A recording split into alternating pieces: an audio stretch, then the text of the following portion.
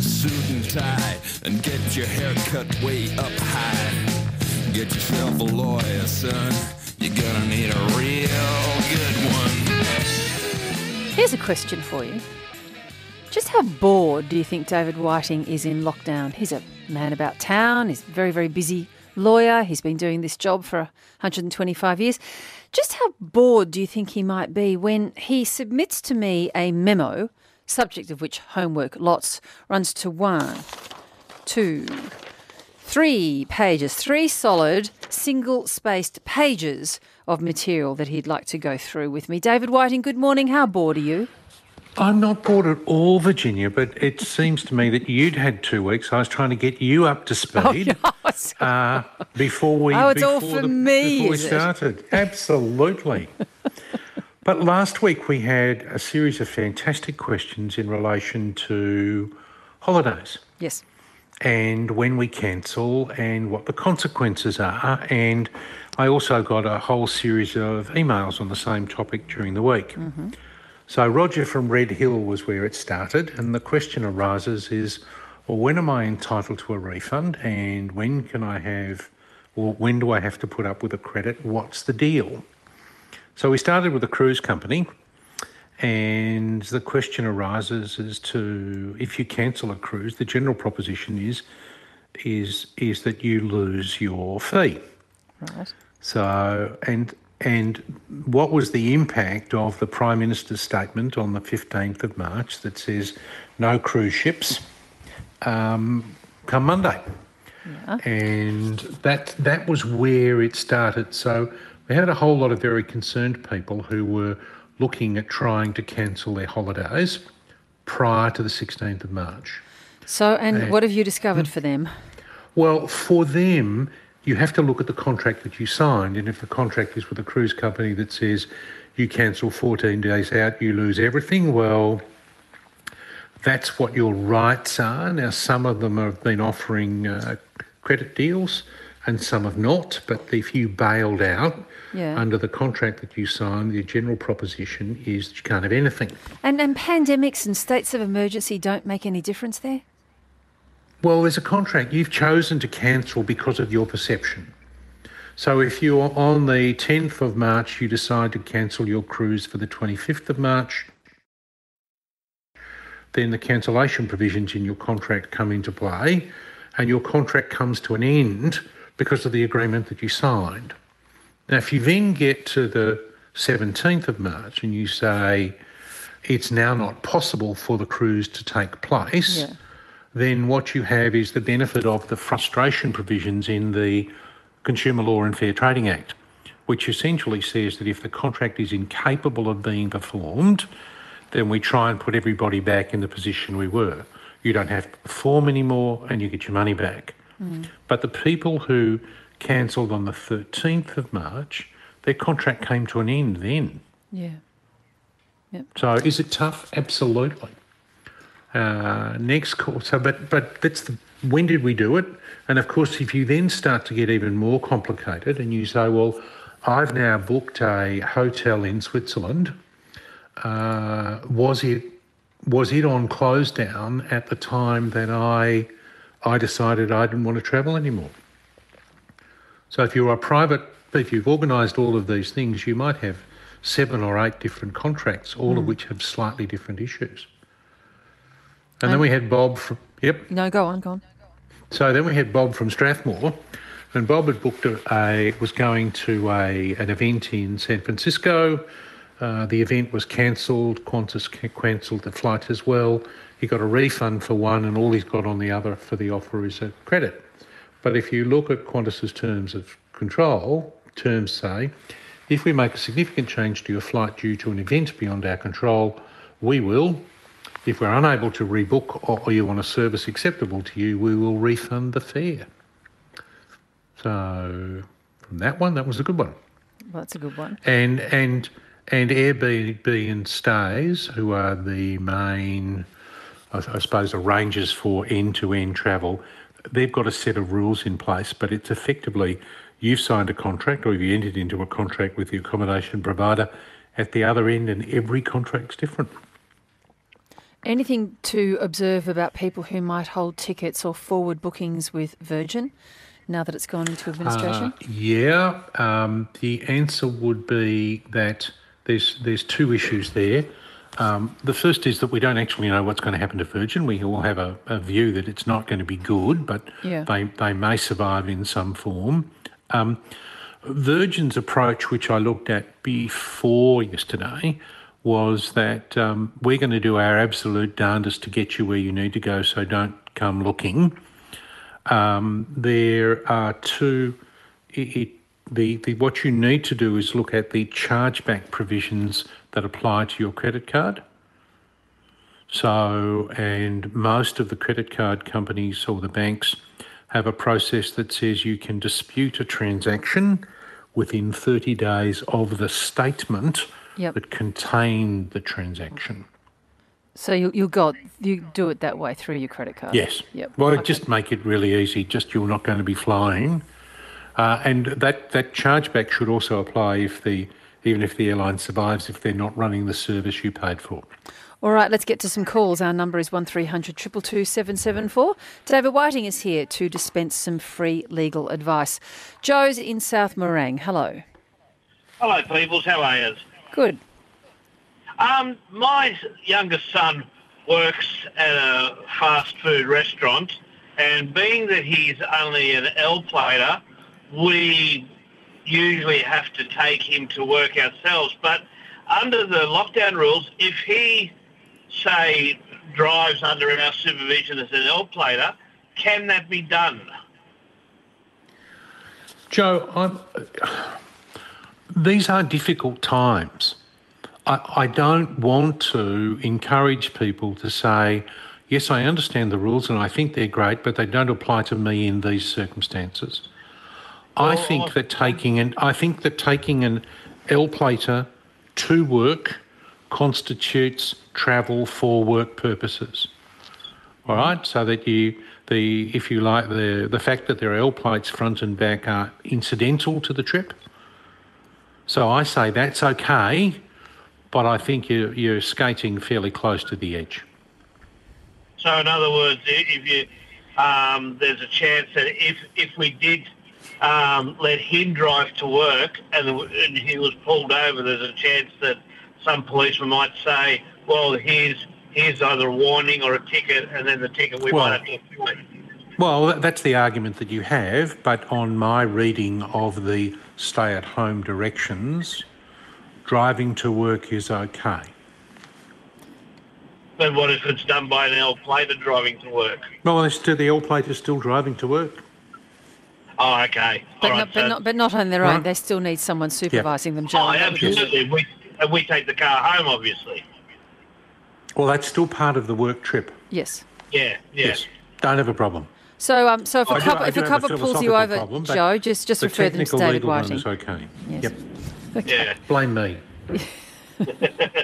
He, All right, thank he you. will. Good on you. Thanks, you. Joe. Good to hear from you. Dave's called in from Gippsland. Good morning.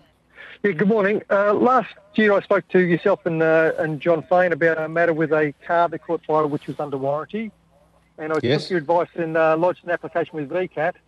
I checked in February and March after the application was granted and they hadn't set a date. Last Thursday I received an email saying because I'd failed to turn up on the 14th of March, the matter was dismissed and the respondents didn't turn up either. I spoke to the respondents and neither they nor myself were advised of a date. So I eventually got onto VCAT. They said on the 14th of March, anything that didn't have a, in the civil list, uh, didn't have a, a court date was dismissed. Because it was an order of VCAT, I had two choices, to go to the Supreme Court and appeal the decision or to go back to VCAT and relist it. And there's 22 Uh, for, cases. of- I would be applying for a relisting. They said I can't do that because it was a, a, uh, Uh, a decision of VCAT. I had to apply to have it considered for relisting, and there's 2,200 cases the same, all struck out on the same day, which was the date that Victoria went into lockdown, the 14th of March. Well, so you can apply for a relisting. Yep. Then apply for a relisting and you'll be like the other 2,200 in the queue. Okay. All right. Okay. All right. Thanks very much indeed. Sorry, Dave. Good luck. It's a tough situation to be in. Good, good luck to you. Bernie's calling from Langwarrin. Hello. Yes, good morning to you both. In my will, I have two powers of attorney. Um, Two what I want to do, it says in my will for my shares to be sold. Now, I want to make that at the discretion of my attorneys. That's one. And the second one is two grandchildren to inherit a sum of money at 21. I want that changed to 18. Can I do that with a, a letter signed by my uh, attorneys or not? Uh, when you say attorneys, you mean executors, I think, Bernie. I, well, they are family members who are my attorneys but for they- financial and medical. So they're, they're your attorneys today, but when you die, they'll be your executors. Is that right? yes, we. Yeah, they're named in your will to give effect to your will. Yes. All right. Now, the uh, there remains a discretion in executors to not sell. So the the normal will reads something like this: I appoint X to be my executor. Everything goes to my executor to turn it into cash and to distribute it like this. You can include a specific provision that says you don't want them sold. There's also a general discretion in executors with the consent of the beneficiaries to delay and in fact to distribute in specie. But I, my preference would be that you would either do it with a with a codicil or that you would redo your will.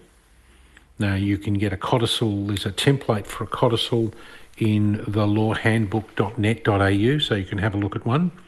And it's really just the way it's signed. So this is Bernie's codicil, first codicil to his will dated X, and and I now don't want my shares to be sold, but to distribute it to the beneficiaries. And in clause 27, I gave money to my grandchildren at age 21. I now want it at age 18. And if you sign it in accordance with the directions you find there, you'll be fine. So you sign it in the presence of two witnesses who sign in, in the sight and presence of each other. Yeah, but Does that help? well, what I want is my shares to be sold at a time of their discretion. Yes, they have that discretion under the will anyway. Because I mean, you wouldn't want to sell them at the moment, would you? No. So I can do that with a codicil or Yes, a you letter. can. No, you can't do it with a letter. Uh, uh, there is a requirement of a degree of formality in relation to a change of a will.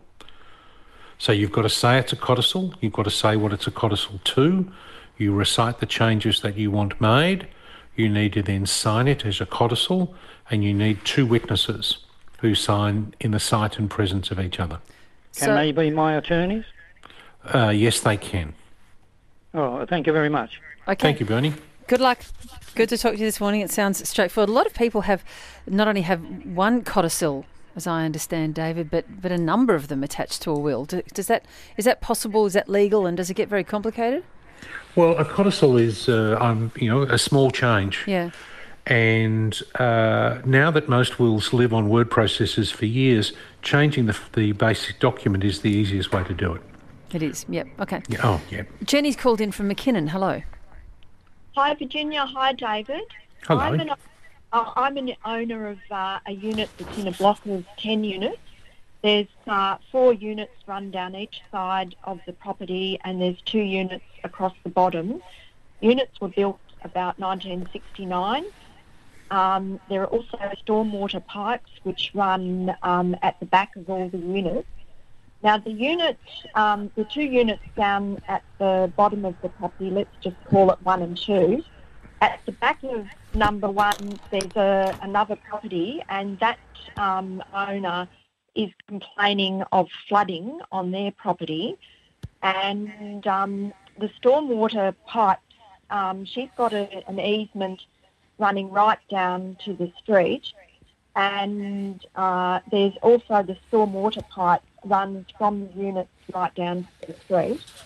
And there are 15 or 16 very large trees which have been grown along the entire easement. And uh, that person is saying that we that um, she's had advice from the council, and the council has said that it's a private stormwater drain, and it's the responsibility of the unit owners to pay for the um, rectification. Jenny, my view is that the stormwater pipes that that uh, the stormwater drainage system that operates for the units uh, is a re- is an owners corporation problem. Oh, okay. Why is Right? that? So why? Because it doesn't just service the units one and two, or unit one or unit two. It services the units upstream as well, does it not? yes, yes, that's correct. So so it's a shared resource. but uh, what about the neighbour at the at the back? So that's uh, a, a, se- a completely separate property, not part of the unit. So where is the water coming from? Is it coming from the units or from the neighbour? I, I think it's coming from the, from the units through the stormwater pipes and then Then running it's right uh, down. then it then it's an owners corporation issue in that their uh, their stormwater system isn't working the way it was intended. even though that stormwater pipe is on um, that na- uh, that neighbour's property. Okay, so so it's already so it's it's not within the block of units. It's left the units and into the easement at the neighbour's point at the end. Ye- yes, that's right, and then it runs along the entire length of her property as well. Uh, I'm going to take that one on notice, Jenny. I'll think about it. Um, I, I don't see. It might be the water company's issue, but I, I don't think so. No, So the, the problem will the problem will be well, who owns the trees? the neighbour. Well, then it's the neighbour. If you think logically, it's the neighbour's trees which are almost inevitably blocking the stormwater. Right. How, how do you how do you go go about um, cheaply investigating all that, David? Uh, you would put down a. You'd normally get a plumber to put down a camera, Yep. and the camera would tell you. And if its tree roots are blocking the easement, the the whoever owned the property years before the neighbour at the back granted an easement over the back of the property to enable it to be used for drainage purposes. Yep. The owner of the property can do what they like, provided that it doesn't interfere with the drainage rights. And what you will find is that the trees have almost Interfered. inevitably broken the pipe Yep. and are accessing the water, and uh, it's flooding from time to time. And who who would be responsible to pay for the services of the plumber? Uh, ultimately, it would be the person who owns the trees. Okay, so Ah. you, you'd end up charging them once you got the plumber in to establish uh, that. uh, the, the, if I was if I owned the block of units, I'd, I'd be saying to the person over the back, "I want you to prove that it's my fault," yep. because they won't be able to do anything without proving that it's your fault. Okay. Does that help? Yes, that, Good on you, Jenny. very helpful. Okay. Thank you very much. Good luck. Hope it goes okay. Interestingly, David, we've got another question on stormwater pipes. This is from Brian in Bayswater. Hi, Brian. Hello, I'm the blooming neighbour. Oh, you're the neighbour. coincidence. What a You're, you're the one. You're the one mucking up the pipes, are you? I'm the neighbour, no? Um, so she's number 10 and we're number 12, right? And it's a block of 11 apartments. I own the bottom apartment, which has a garden, obviously. Hang on, hang on. And- Just, just, just pause one second. You're, you're in, you're in totally different suburbs, so you're not talking about the same story, are you?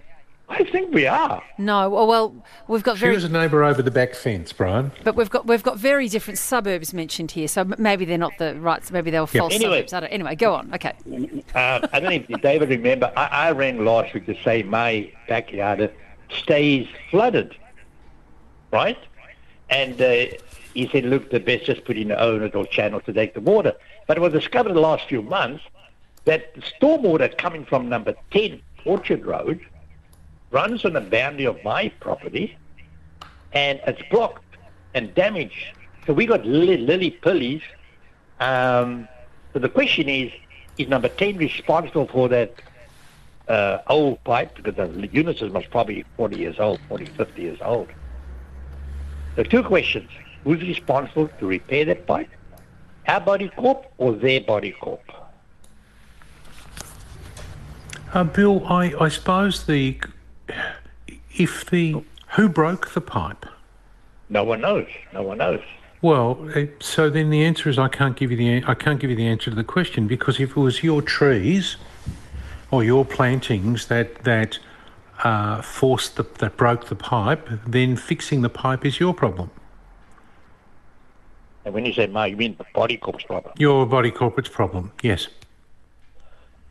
Uh, question someone is- said, someone said just block it in and they'll make quite sure they have to get another a water run. But I said, no, I won't do that. Uh, now, Brian, the issue is there is uh, who's so the water leaves their property into an easement across the back of your property. Correct, yeah. Uh, so and there's a blockage. The question is what? Where's the blockage? What caused the blockage? And that will tell you who's responsible for fixing the blockage. Yeah, we, we had a plumber with his camera and he pointed two spots. The one spot where he actually uh, highlighted it, there's no tree there. There's no little lily-pilly tree. Well, the, the, either the pipe mysterious. through your property belongs to the water authority or belongs to your neighbour. I think Yeah. at the end of the day it will belong to the water authority. And the question then becomes is, well, who has to fix it? And my question will be, well, who broke it? And if that I, can't I be, rang Water, Melbourne, Melbourne Water. They said, no, it's not their problem. Well, it wouldn't I be think Melbourne Water. It might I be think uh, s- uh, Yarra Valley or City West Water or, or one of those. Yeah. So I'm going back to my, because we in this unit for nearly two years now. July will be two years. And I got photos. That garden was always, the back garden was always flooded. so the the question uh, here, the challenge here, David, is going to be proving who or what did it. That's where this whole thing falls. that's your starting point. Yeah. Who caused the problem? Okay. And if a pl- and if a plumber can't establish that, then i- is that the end of the matter, David? I guess you could try Well, and equitably the come to will some continue. arrangement. You try and do a deal. Yes, exactly. Yes, because it will benefit everybody if the problem goes away. All right. Well, um, good luck with that one. They can't be the same neighbours. I've got two totally different suburbs here. Unless maybe, David, people are using um, not nom de plume, but uh, suburb de plume, perhaps? Oh well, one of them might have been an investment property. You just don't Ah, know. But that's- yeah, I'm, that's very true. Yeah, yes. Um, Mark has called in from Ashburton. Mark, good morning. Good morning, uh, Virginia and David. Thanks for taking my call. No worries. Um, my car was written off in January due to the hailstorm that we had. Mm-hmm. And Yes. a very well-known uh, insurance company have told me that I only have two days in which to give them my car. And of course, with the virus that's happening, I can't buy another car because car yards are closed and you can't test drive. Ca- And I I've thought car appealed- yards were still open. They're open, but you can't test drive. They're not Ah. allowing anybody to test drive a car. Oh, because that's not essential travel, I suppose. That, that's right, yeah. Uh-huh. And I don't really want to put myself or my wife at risk of going and trying to get into a car that, uh, you know, it's, it's against, it's not an essential service. Yep. And I've asked for consideration from the insurance company, and they're basically fobbing me off. And I'm just wondering what my rights are in relation to that. They're found within your insurance contract, Mark. I suppose the question would be: Would you be prepared to accept a diminution in value? So the the the, the insurance company has sold your car. They just have to deliver it. Right. So they've got an agreement with you that this this, this is the process. You might have an agreed value policy, so they're going to pay you ten grand, and they've right. taken pictures of your vehicle and they've found someone who's going to buy it in its current state, and they're going to give them X dollars. Yes. Now the question is: is that if you keep driving the car, is it going to drop in value? Right. Because they're no longer able to on-sell it. Right. I've just asked them for a couple of months consideration during this period, and hopefully I will be able to look for another car because I'm Right. I can't buy and- another one. No, no, I understand. Well, you can, but Yeah. you want to test drive it, That- right? that's right, yeah, So, yeah. so, so where you're at is that you've come along and said, look, I, I, what I want to do is I want to fix my value today. I'm just Yep. not ready to take it. Yes. Who is going to bear the risk of a drop in value of the vehicle in the meantime? Right. I understand. So that's where I would start the discussion. So you don't, you. So that that would be if I was acting for the insurance company, that would be my issue. Mm-hmm. I've already agreed to sell it to a wrecker for X dollars. Yes. Yes. Yeah, and I see. Okay, good luck. All right. Thank you very much. Thanks for your help. Thanks so much. You've got a little bit of home. uh, One question to take away there on yeah, notice, David, only one. Yep. which means I should expect a shorter memo next week, correct? I'm not even going to send you one. Lovely to talk to you again. Take care. Thanks, Virginia. David Whiting there, your talk back lawyer.